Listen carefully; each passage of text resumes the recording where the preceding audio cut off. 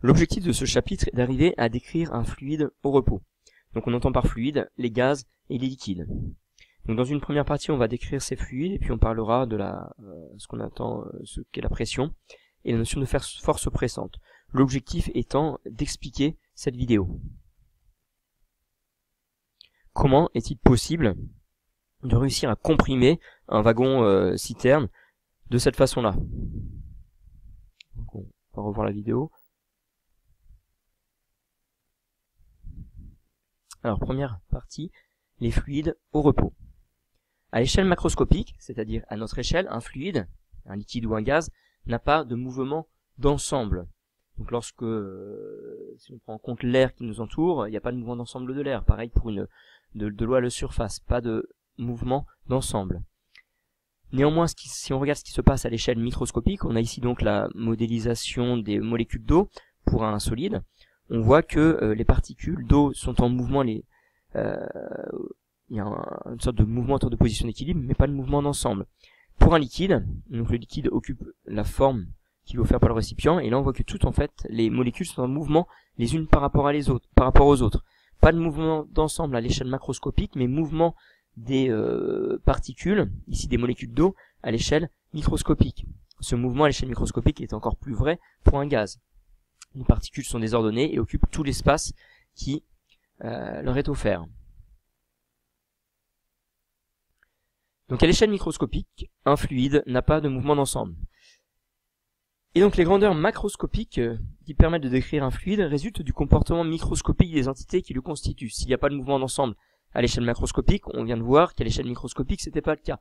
Les particules sont en mouvement, euh, les unes par rapport aux autres, et donc on va pouvoir lier euh, ce comportement microscopique des particules aux grandeurs macroscopiques qui permettent de décrire le gaz. Ces grandeurs macroscopiques vont être associées au comportement microscopique des particules. Donc trois grandeurs euh, macroscopiques à notre niveau pour décrire un gaz.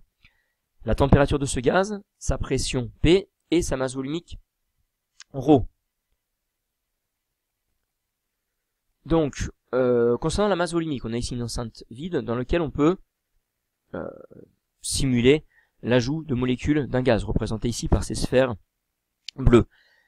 Plus le nombre de particules sera grand pour un même volume, plus les molécules seront euh, rapprochées, et donc plus la masse volumique du liquide ou du gaz sera importante. Donc la masse volumique, qui est une grandeur macroscopique à notre échelle, est liée à la proximité des entités, à la distance qui va séparer chacune de ces entités.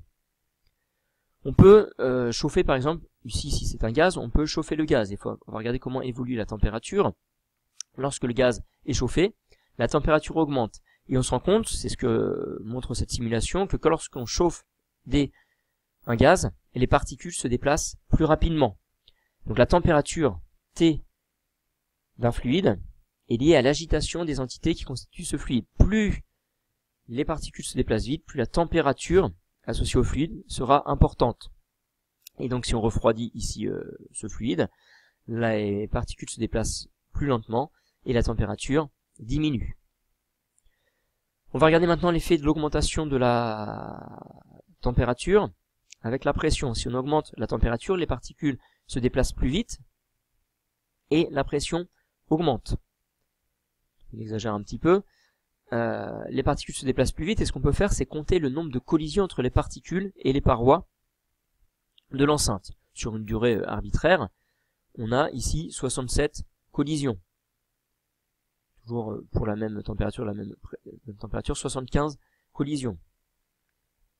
64 collisions. Etc. Autour de donc 70 collisions. Si on refroidit le gaz, donc que les particules se déplacent moins rapidement, on voit donc que la pression diminue, et en fait, la pression d'un gaz va dépendre du nombre de collisions entre les particules et la paroi de l'enceinte. Donc si on compte ici le nombre de collisions dans cette situation, on était à 70 en moyenne collision tout à l'heure, on est maintenant à une trentaine euh, de collisions. Trentaine, quarantaine de collisions. Donc on peut associer à ces trois grandeurs macroscopiques euh, le comportement à l'échelle microscopique des particules qui constituent le fluide. Donc notamment la température T est liée à l'agitation des entités, la pression P est liée au choc des entités avec les parois, Et la masse volumique, ρ, est liée à la proximité des entités. Plus l'agitation est importante, plus les particules se déplacent rapidement, plus la température va être élevée. Plus les particules se déplacent vite et donc plus le nombre de chocs sera important, plus la pression sera importante. Et plus les entités molécules sont proches les unes des autres, plus la masse volumique sera grande. On va maintenant aborder la, notion de pression ici sous un autre euh, aspect, euh, faire le lien entre pression et ce qu'on appelle force pressante. Donc l'action mécanique exercée par un solide, que ce soit un solide, un liquide ou un gaz sur la surface d'un corps peut être modélisée par une force pressante. Donc les caractéristiques de cette force pressante sont les suivantes. Le point d'application de cette force est le centre de la surface, pour simplifier, donc centre de la surface sur lequel agit euh, cette force, pour simplifier. La direction de cette force est perpendiculaire à la surface et du milieu qui agit, qui exerce la force vers la surface pressée. Et donc, si un fluide, on va se limiter dans ce chapitre au fluide, au liquide ou au gaz, donc si un fluide exerce une force pressante d'intensité F sur une surface S, on appelle pression la grandeur P qui est donnée par la relation suivante. La pression est égale à la force pressante sur la surface sur laquelle s'exerce cette force pressante. La force s'exprime en newton, la surface en mètre carré, et donc la pression est en newton par mètre carré, unité qu'on appelle aussi le pascal. Donc le pascal, ce sont des newtons par mètre carré. Donc ça, on peut définir la pression de cette façon-là, le rapport de la force pressante sur la surface. Et donc la pression exercée par un fluide est mesurée à l'aide d'un manomètre, et une valeur de pression à connaître. La pression de l'air qui nous entoure est appelée pression atmosphérique, on a notre P indice ATM. Au niveau de la mer, la pression atmosphérique moyenne est égale à 1,013 10 puissance 5 pascal, ou encore 1013 hectopascal. Donc je vous laisse noter euh, ces quelques éléments. Donc 1013 hectopascal à la surface, euh, à l'altitude au niveau euh, au niveau 0, ou 1,013 10 puissance 5 pascal. Connaissant cette pression, on peut calculer la force pressante qui en résulte. Donc sur une surface d'un mètre carré, on a une force pressante de 1,013 10 puissance 5 newton. Pour vous rendre compte un petit peu de ce que représente cette force, 1,013 10 puissance 5 newton, donc c'est la force qui, qui correspondrait à une pression de 1013 hectopascal sur 1 mètre carré. Cette force correspond au poids d'un objet qui aurait une masse de 10 tonnes. C'est-à-dire que au niveau de la pression atmosphérique, sur une surface de 1 mètre carré, on a une force qui équivaut au poids d'un objet de 10 tonnes. Ou encore sur un centimètre carré, le poids d'un objet de 1 kg. Et donc c'est euh, cette pression atmosphérique très importante qu'on euh, euh, ne ressent pas parce que elle s'exerce sur notre corps par exemple dans toutes les directions, etc. C'est cette force très importante qui permet d'expliquer la compression du wagon citerne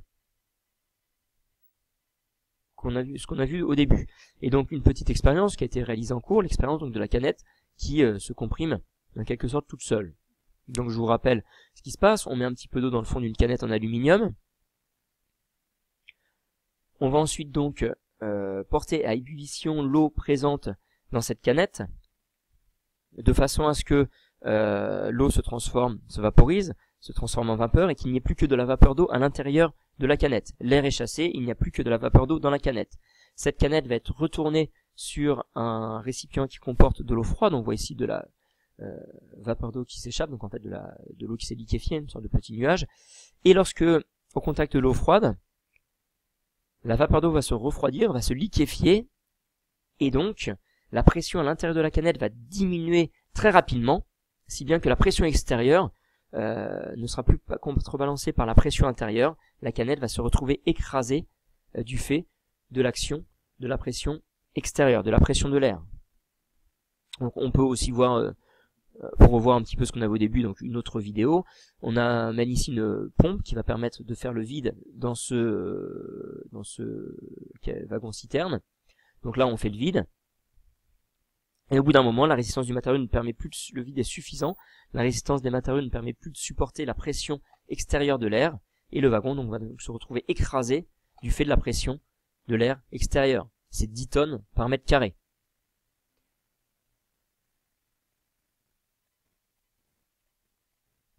Donc voilà pour cette première partie concernant la description des fluides de repos, le lien entre grandeur macroscopique, grandeur microscopique et cette définition de force pressante.